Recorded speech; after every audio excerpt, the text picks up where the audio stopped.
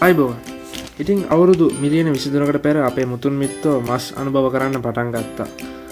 ඒ දඩයම් කිරීමෙන්. ඊට පස්ස අපේ මුතුන් මිත්තන් ධාන්‍ය ආහාර ඇටවර්ග කොල ජාති වගේ අනුභව කරන්න පටන් ගත්තා.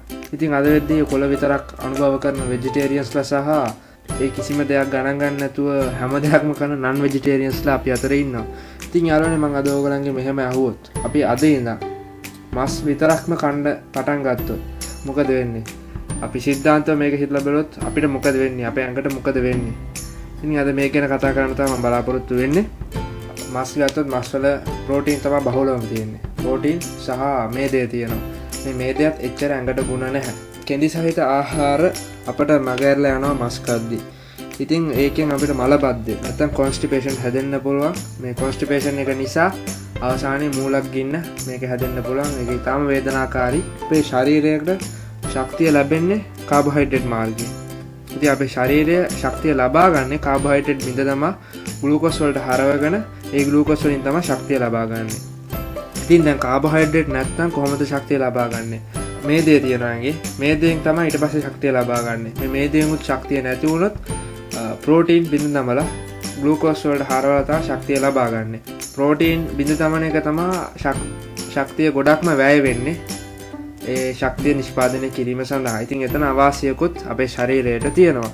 මේ ක්‍රියාවලියට කියන්නේ ගලූකෝ නියෝ ජනසිස් කියලා. මේක ඇතිවෙන්නේ අක්මාවේ. ඉතින් මේ අක්මාව ඇතිවෙද්දි මේකින් එන්න අපද්‍රව්‍ය මේවා නයිට්ටජනස් වේස්ට් කියලා කියන්නේ. ඉතිං මේ නයිටන් කම්පවන්් අපද්‍රව්‍ය අවසාන වශයෙන් යූරයා බවට හැරවෙනවා ඉතින් යූරයා කියන එක වැඩිකාල් ඇගේ තියාගන්න හොඳත්න එච්චට ලොකු ප්‍රමාණයක් ඇගේ තියාගණ්ඩ හොඳ නෑ.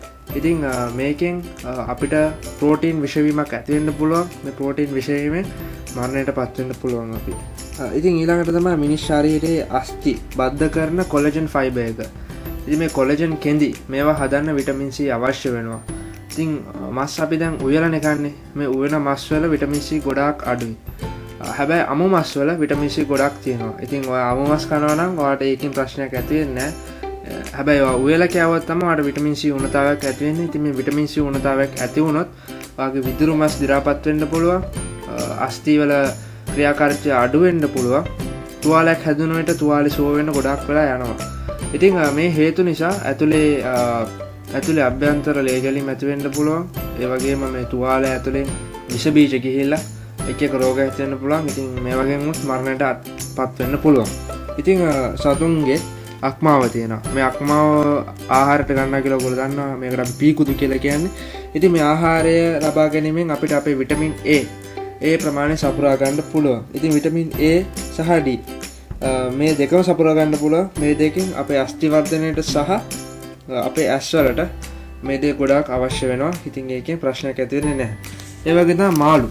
මාළු අනුභව කෙරීමෙන් මාළුවල තියෙනවා ඔමගාත්‍රී මේදය මේ මේදය ඇත්තරම අපේ හර්දය ක්‍රියාකාරිත්වයටත් හර්දේ වෙසල්සල්ට ලේ ගමනාගමනය කරන බටවලට ඒවල් ක්‍රියාකාරිත්වයට ගොඩක් උදව් වෙනවා. ඉතින් එහින්දා ඒකෙමුත් මේ මොමක අතරි සපුරාගණ්ඩ පුළුවන්. ඉතින් යාරුවන සිද්ධාන්තෝන මේ මේ වගේ මිනිස්සු ඇත්තරම ඉන්න ලෝකේ.